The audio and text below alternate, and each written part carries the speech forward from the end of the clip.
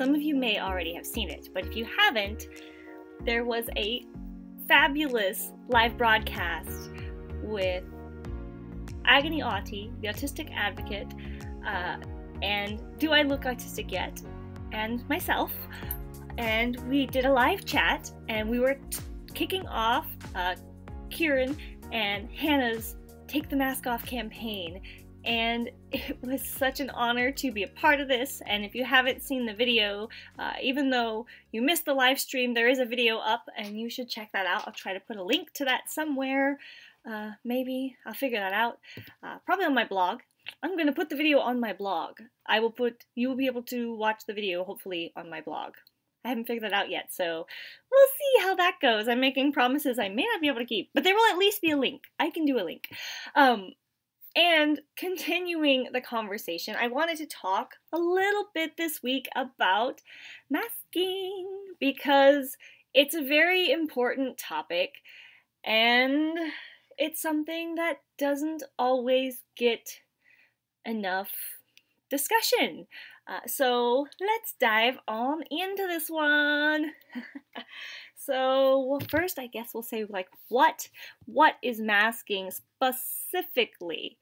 Uh, first, uh, also I should say as I go into this that everyone masks to some degree. Like everyone does it. You know, you put on a mask.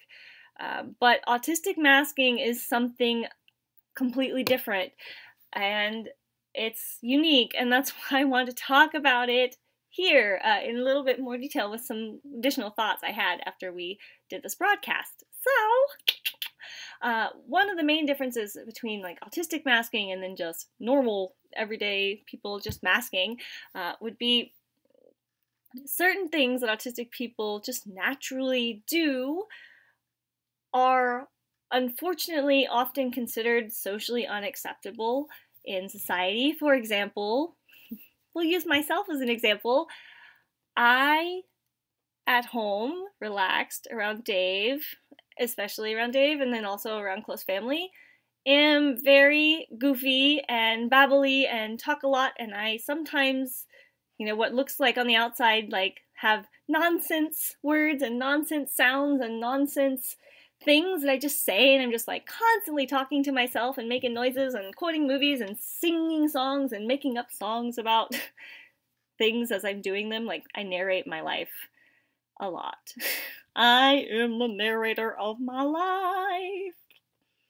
And just being just relaxed uh, and me, you know, really. And then the other thing that's me, you know, and as an autistic thing, is stimming.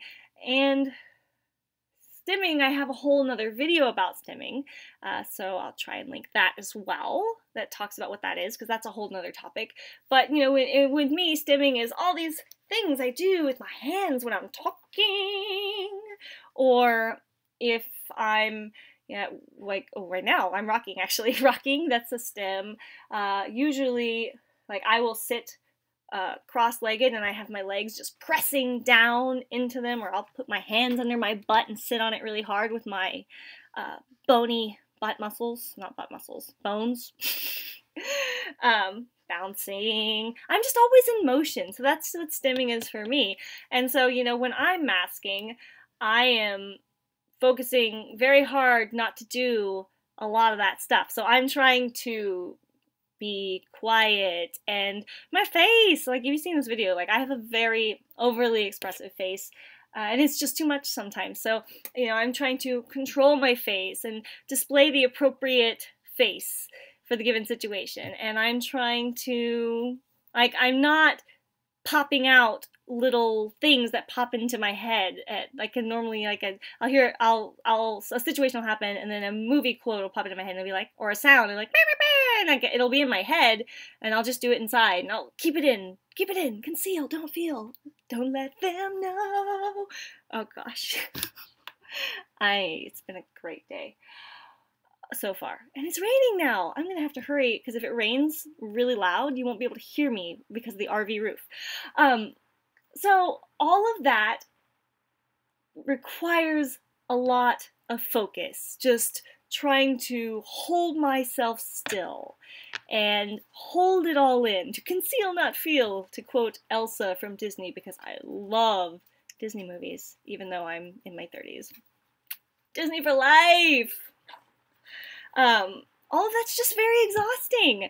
And, you know, I it's it's important to kind of think about the message that's being sent when people feel like these things that are just a natural part of themselves are inherent like they people can become like you, you feel like it's bad like you're just naturally bad like these things that you just naturally do are weird bad unacceptable and you just need to hide that. And that's really that can be really bad for people's mental health you know just being ashamed of who you are. And it, it's it can wear you down and burn you out if you're just constantly trying to suppress who you are. And it's just the physical like i get physically tired and just worn down from just trying to be still all the time uh, you know in public you know there are things like I, in public and like if i go to an office for work or somewhere where i need to be professional i am not um, running around singing to myself and walking on my tiptoes and spinning in circles and going around like this because that's what happens when I'm really excited. I'm like, Emma Chicken! Yeah, for real, for real. That's so you know I'm I'm restraining myself, and you know my stims become more like just like clasping my hands really really tight, tensing my body and releasing it. Um, maybe I might sway a little bit. I, I don't, I catch myself doing it. I didn't even know I, I rock, but I do.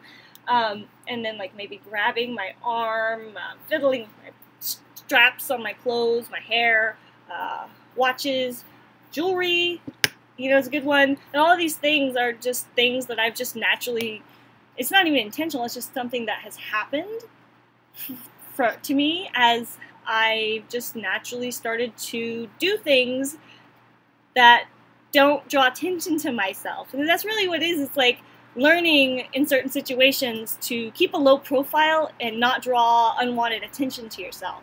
It's a safety thing, it's a protection thing. It's starting to rain really loud, so I'm going to have to wrap this up soon. Um, because I can't even hear myself talk. Can you hear me still? anyway, those are just a few thoughts. I will be talking more about masking this month and I hope you will join us and follow the Take the Mask Off hashtag and share your own experiences with masking. Let me know in the comments below if you feel like masking is a good thing. What are some good things that are, can come from masking and being able to mask? Because there definitely are some privileges and good things associated with that. And then what are some good things with being able to not mask and, you know, not masking and taking the mask off? Uh, so here comes the rain. I'm going to sign out. Uh, I put out new content every Wednesday, so be sure to subscribe, and I will talk to you next week. Bye, yeah!